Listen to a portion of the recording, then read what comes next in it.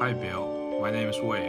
I'm an electronic engineer coming from China. Big fan to your show, by the way. Um, my question is, um, hypothetically, instead of politicians, uh, if the world were only run by engineers and scientists, uh, would it be a better place, in your opinion?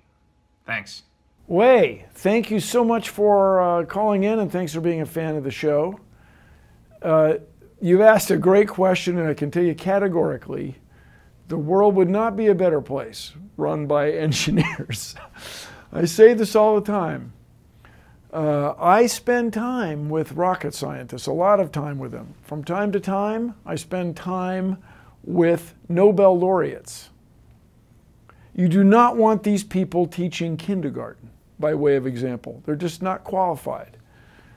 When you find somebody who's interested in making deals, in compromising, in, in empathizing with people, in other words, feeling what they're feeling, and then trying to establish laws and traditions uh, that benefit everyone. If when you find somebody who wants that job, that to me is amazing, and we need those people. Those people would be politicians. With that said, what we want are politicians who are scientifically literate, who are technically informed, now, you're in China and uh, you have what in the, in the US people often refer to as a technocracy.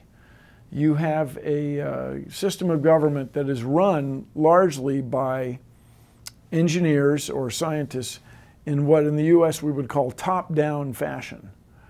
Uh, people at the, in power make decisions for everyone. And the system is workable. I mean, you, you, my goodness, China has this extraordinary economy and, and so on. But the experiment in the United States and the other Western democracies is to have representatives that work the system top down but are elected by everybody. And uh, the idea is that this would be uh, more fair. This would be um, consistent with how everybody feels. What we want is people making decisions on behalf of all of us that are in the best interests of all of us. And the best interests of everybody has to do with science and technology. We cannot have sewer systems and the internet and this communication that you send in here. You couldn't have Big Think without the technology of electronics, which is enabled by mining extraordinary metals and geologists and physicists and chemists. And everybody is fed through agriculture, which is uh, another important biological uh, aspect of biological science. We need science for everything. But what we want is our politicians to understand that and appreciate it and celebrate it and so move science forward. That is a great question, but I will tell you, in my opinion, having a bunch of engineers, and I'm an engineer, don't get me wrong, man having a bunch of engineers run things is probably not what you want because the systems are created, engineering systems are generally created from the top down.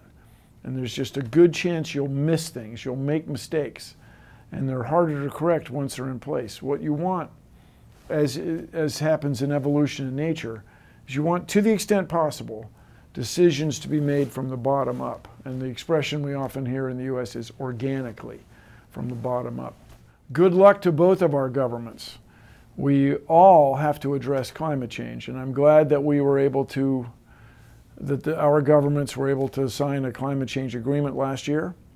And I'm very much hoping we can stick to it because we are going to need everybody working together to address climate change and we are especially going to need scientists and engineers to create or enable technical solutions to specific things.